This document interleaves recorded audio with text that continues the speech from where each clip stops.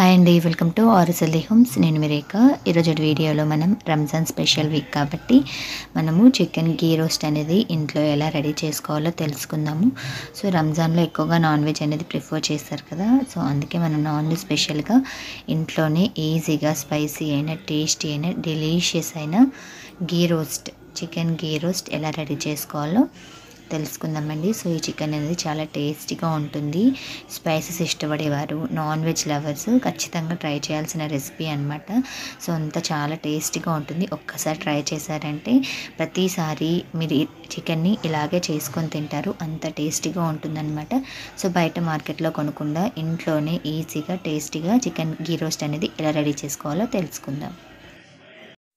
So ఇప్పుడు మనం ఒక ప్యాన్ పెట్టేసుకొని మనం చికెన్ గీ రోస్ట్కి కావాల్సిన మసాలా అనేది రెడీ చేసుకుందామండి. సో ఫస్ట్ నేను ఇందులోకి జీరా సాజీరా దాల్చిన చెక్క నాలుగు నుంచి ఐదు ఇలాచీలు అలాగే లవంగాలు ఎండుమిర్చి మిరియాలు ధనియాలు ఒక హాఫ్ కప్ తీసుకున్నాను అనమాట సో వీటిని బాగా రోస్ట్ చేసుకోవాలి. సో సిమ్లో పెట్టుకొని రోస్ట్ చేసుకోవాలండి. హై ఫ్లేమ్ యూజ్ చేయకూడదు.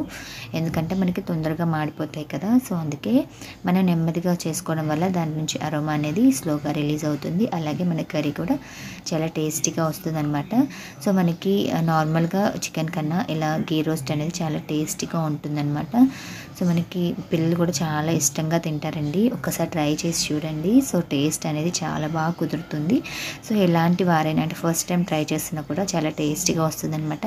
సో నేను చెప్పే ప్రొసీజర్ అనేది ఖచ్చితంగా ఫాలో అవ్వండి. టేస్టీ అనేది ఖచ్చితంగా బాగా కుదురుతుంది. సో వీటిని ఒక సెవెన్ మినిట్స్ వరకు మనం రోస్ట్ చేసుకోవాలండి. సో అలాగే మనం ఫైనల్గా దీనికి బిర్యానీ ఫ్లవర్ అనేది యాడ్ చేసుకోవాల్సి ఉంటుంది అనమాట సో దానివల్ల మనకి టేస్ట్ అనేది ఎక్స్ట్రాగా యాడ్ అవుతుంది. సో ఇలా మనకి బిర్యానీ పువ్వు ఉంటుంది కదా సో దీన్ని యాడ్ చేసేయాలి. సో ఈ స్పైసెస్ యూజ్ చేయడం వల్లనే మన చికెన్ అనేది చాలా టేస్టీగా వస్తుందన్నమాట. సో ఖచ్చితంగా ట్రై చేయండి. కొందరు ఫ్రైస్ తినేవారు. ఇలాంటి ఫ్రైస్ తీసుకోవడం వల్ల మనకి డైజెషన్ ప్రాబ్లం వస్తుందని ఇబ్బంది పడుతూ ఉంటారు కదా.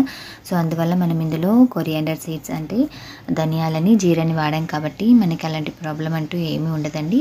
సో ఇందులో మన మిరియాలు కానీ లవంగాలు కానీ మన హెల్త్కి చాలా మంచిదనమాట సో ఏడు నిమిషాల తర్వాత దీన్ని దించేసి చల్లారిన తర్వాత మిక్సీ పట్టుకోవాలి.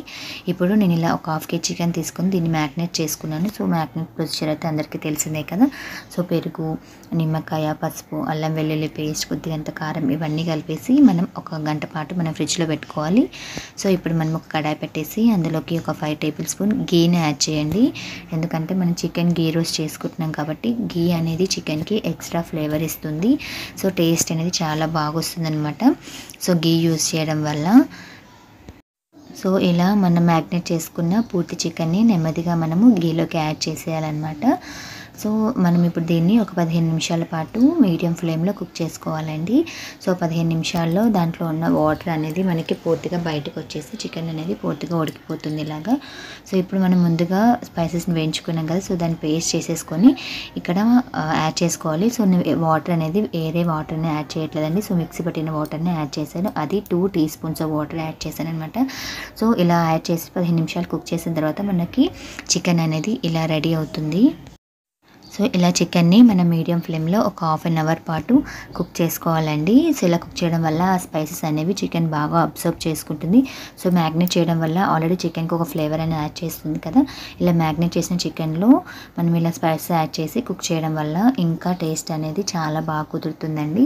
సో ఫైనల్గా ఒక టూ టీ స్పూన్స్గా గేని యాడ్ చేసి మరో రెండు నిమిషాల పాటు కుక్ చేసుకుంటే మనకి చికెన్ గీ రోస్ట్ అనేది రెడీ అయిపోయినట్టు అనమాట సో ఒక్కసారి ట్రై చేయండి. చాలా టేస్టీగా ఉంటుంది. ఉంటుంది. ఒకసారి ట్రై చేశారంటే మీరు అసలు వదలనే వదలరు. అంత టేస్టీగా ఉంటుంది. సో మనకి పీసెస్ కూడా చాలా జ్యూసీగా స్పైసీగా చాలా టేస్టీగా వస్తుందన్నమాట. సో ఇలా చికెన్ గీ రోస్ట్ని ఈ రంజాన్ సీజన్లో ఖచ్చితంగా తిని ఎంజాయ్ చేయండి. సో మీ ఫ్యామిలీ మొత్తం ఎంజాయ్ చేయదగ్గ రెసిపీ అనమాట సో నాన్ వెజ్ లవర్స్ అయితే చాలా ఇష్టంగా తింటారండి. సో అంత బాగా కుదురుతుంది ఇది. సో చూసారు కదా ఈరోజు వీడియోలో చికెన్ గీ రోస్ట్ అనేది ఎలా రెడీ చేసుకోవాలో మీరు ఒకసారి ఇంట్లో ట్రై చేయండి. సో ఈ వీడియో నచ్చితే నా వీడియోని లైక్ చేయండి షేర్ చేయండి. అలాగే నా ఛానల్ని కొత్తగా చూస్తుంటే నా ఛానల్ని సబ్స్క్రైబ్ చేసుకొని పక్కనున్న గంట సిమ్మల్ని ప్రెస్ చేయడం వల్ల నేను చేసే ప్రతి వీడియో మీకు నోటిఫికేషన్ ద్వారా వస్తుంది థ్యాంక్స్ ఫర్